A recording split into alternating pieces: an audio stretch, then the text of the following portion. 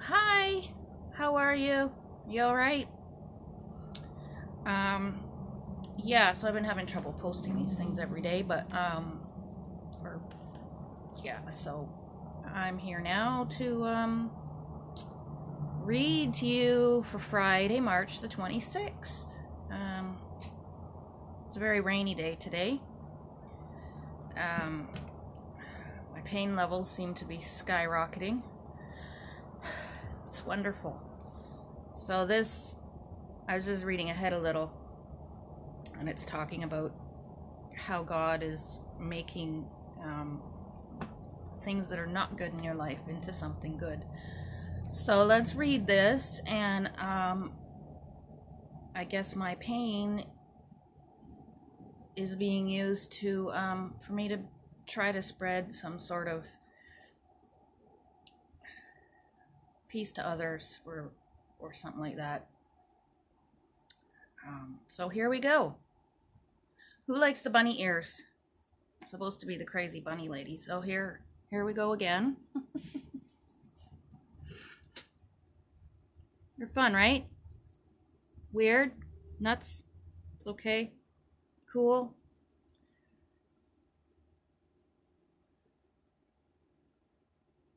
Floppy bunny. All right. So, today is from Isaiah 35, verse 10. Um, the story is called Slum Songs by Sheridan Voysey. Cateura is a small slum in Paraguay, South America. Desperately poor, its villagers survive by recycling items from its rubbish dump. But from these unpromising conditions, something beautiful has emerged an orchestra. With a violin costing more than a house in Cateura, the orchestra had to get creative, casting its own instruments from their garbage supply.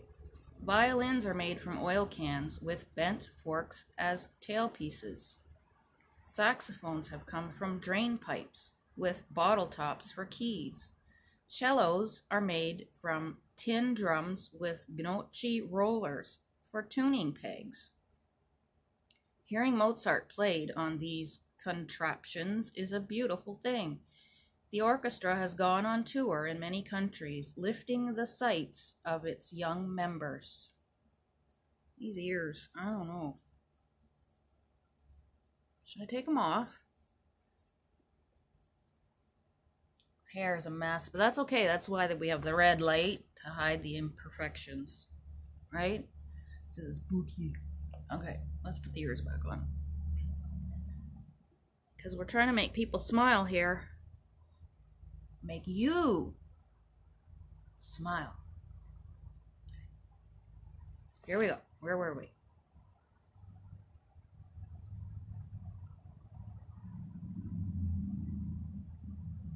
Violins from landfills, music from slums.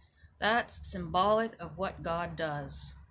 For when the prophet Isaiah envisions God's new creation, a similar picture of beauty from poverty emerges, with barren lands bursting into blooming flowers, deserts flowing with streams, castaway war tools crafted into garden instruments, and impoverished people becoming whole to the sounds of joyful songs. The world sends us garbage, Cateura's orchestra director says. We send back music. And as they do, they give the world a glimpse of the future when God will wipe away the tears of every eye and poverty will be no more. Well, that would be really nice, wouldn't it? That would be so lovely. How have you seen God turn the garbage of your life into something beautiful? How might He wish to bring music out of your pain? So that's why I'm working on this channel to try and, and help bring some happiness to some people and some peace to you and teach you a little bit about God and how He can ease your stress in so many ways and bring goodness to the things that are not so good with you. Holy Spirit, turn the poverty in my life into something beautiful. And there comes Bunny Lady. Today's scripture from Isaiah 35. The desert and the parched land will be glad. The wilderness will rejoice and blossom. Like the crocus, it will burst into bloom. It will rejoice greatly and shout for joy. The glory of Lebanon will be given to it, the splendor of Carmel and Sharon. They will see the glory of the Lord, the splendor of our God. Strengthen the feeble hands, steady the knees that give way. Say to those with fearful hearts, Be strong, do not fear. Your God will come.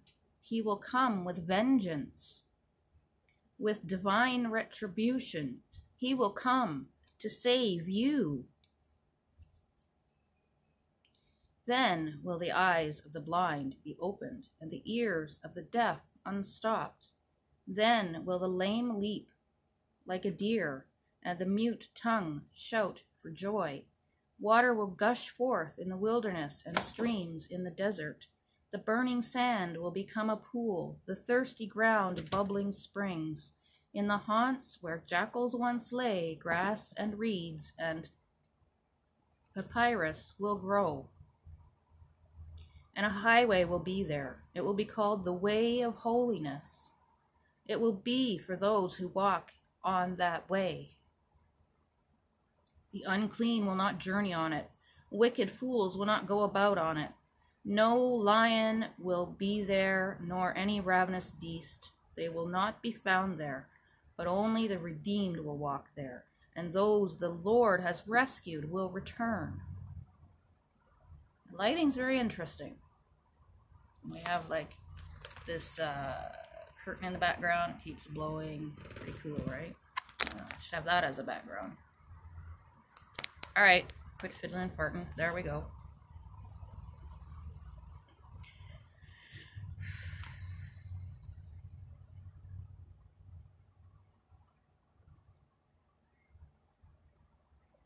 They will enter Zion with singing. Everlasting joy will crown their heads.